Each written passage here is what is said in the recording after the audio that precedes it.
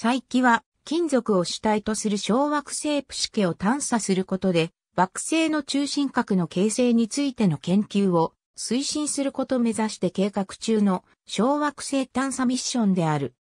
アメリカ航空宇宙局のディスカバリー計画の一環であり、アリゾナ州立大学のリンディ・エルキンスタンソンが計画の筆頭研究者を務める。NASA ジェット推進研究所が計画を推進する。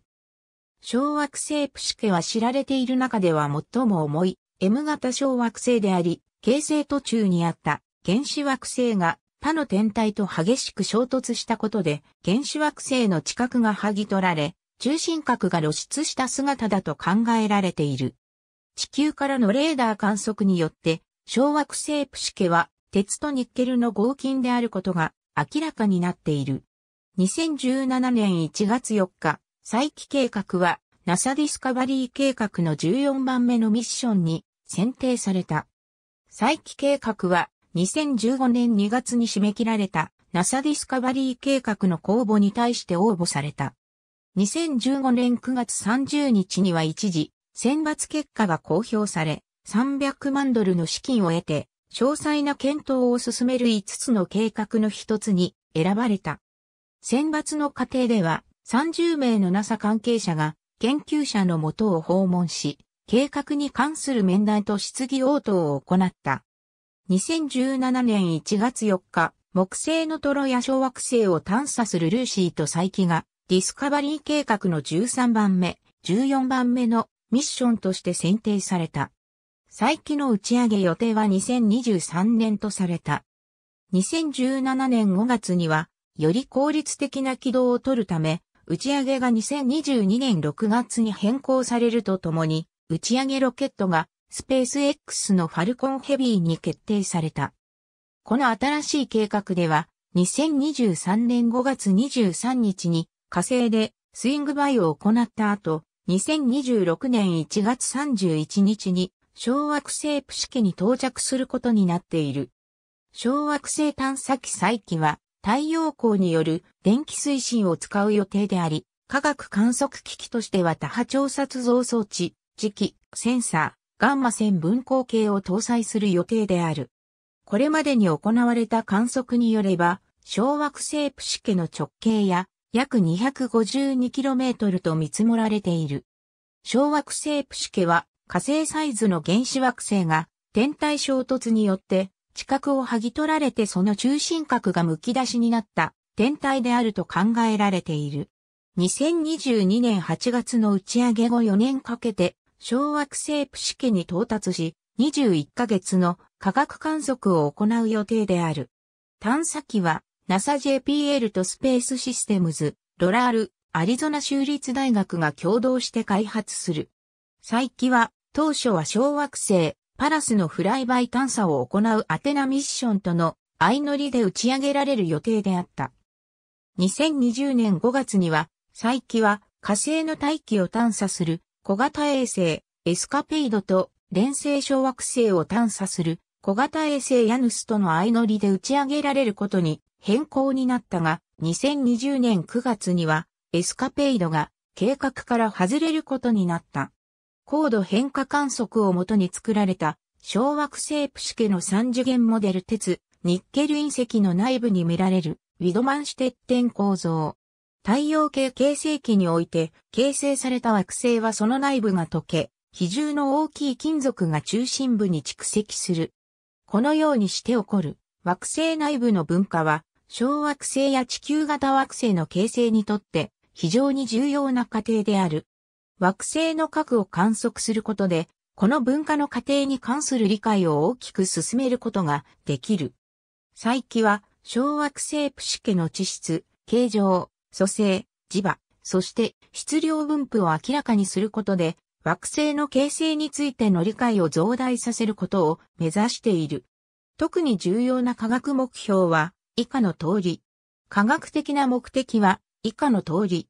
再起ミッションで解決を目指す疑問点は以下のようなものである。再起は以下の4種類の科学観測機器を搭載する。科学ペイロードの総重量は 30kg である。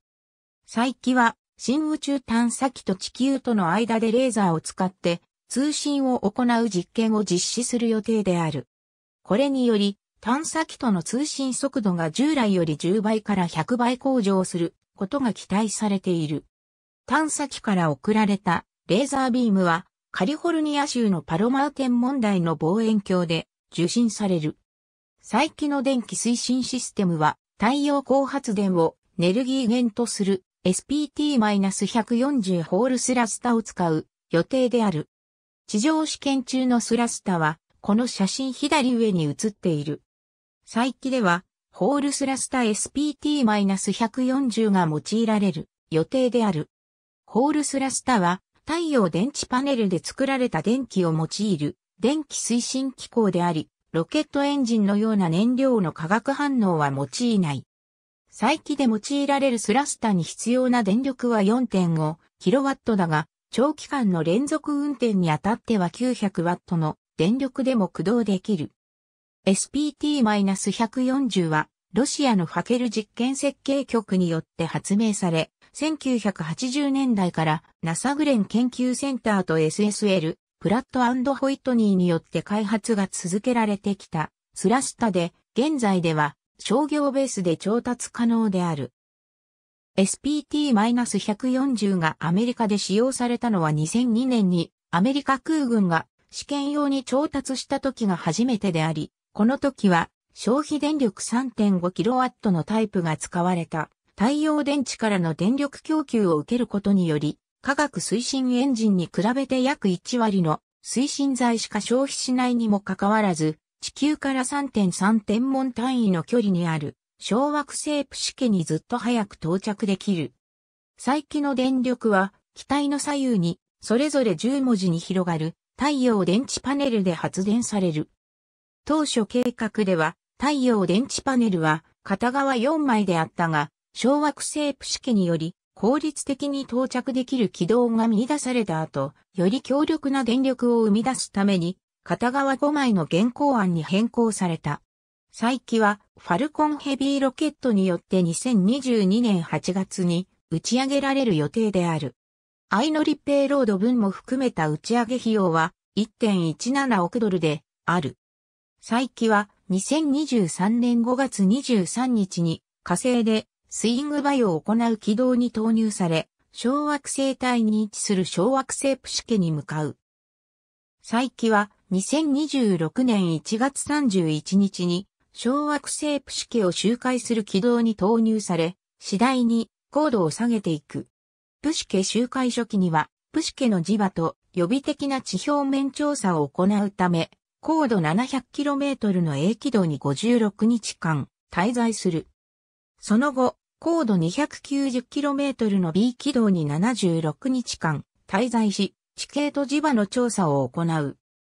その後さらに高度 170km の C 軌道に移り、100日かけて重力場の調査を行うほか、磁場の調査も継続する。最後に高度 85km の D 軌道に移り、ガンマ線、中性子分光計を用いて小惑星表面の組成を分析するほか、表面の撮影、重力場と磁場の調査を継続する。計画では、再起は小惑星を少なくとも21ヶ月にわたって周回する予定である。再起からのレーザー光は、カリフォルニア州のパロマー天文台に設置された望遠鏡で受信される。地球から探査機へのレーザー光は、同じくカリフォルニア州にある JPL のテーブルマウンテン観測所の小型望遠鏡から発信される。ありがとうございます。